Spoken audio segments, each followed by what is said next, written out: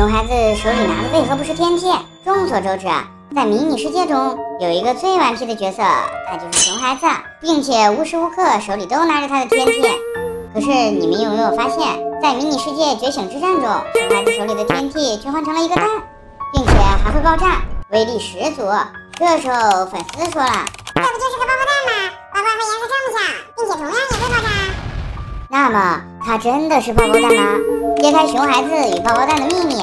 这边是可优，这边是我。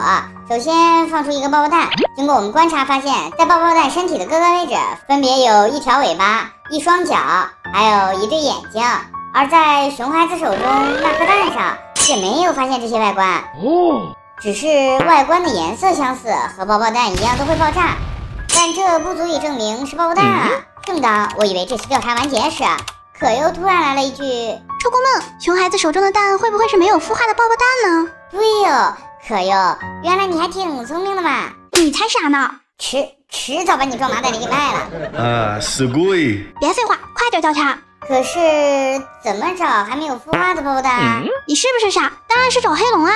对哦，我怎么没有想到爆爆蛋是黑龙的孩子？那么还没孵化爆爆蛋，黑龙的手上就一定有。到了烈焰星，我们沿着地图飞过去找黑龙。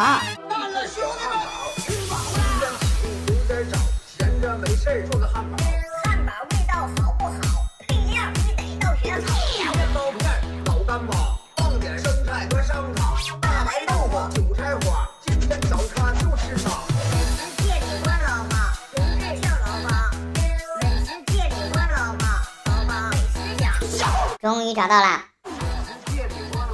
经过与黑龙的一段时间协商，他始终不肯把未孵化的爆爆弹交给我们，我们只好 嘿嘿。你是不是傻？